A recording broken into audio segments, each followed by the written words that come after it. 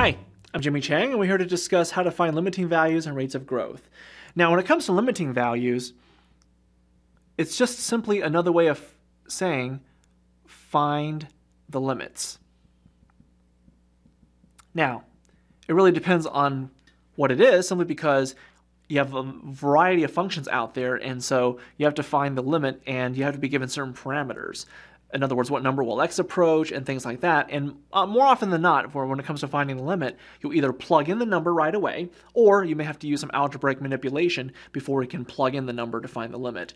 Some functions have no limits, so it really depends on what the scenario happens to be. But when it comes to finding limiting values, it's just another way of saying find the limit. When it comes to rates of growth, often it's just another way of saying find the derivative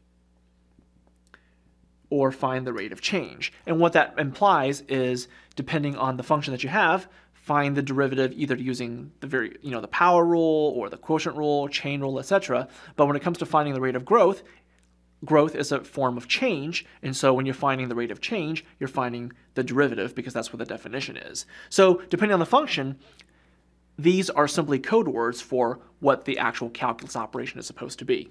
So I'm Jimmy Chang, and that's a brief general strategy on finding limiting values and rates of growth.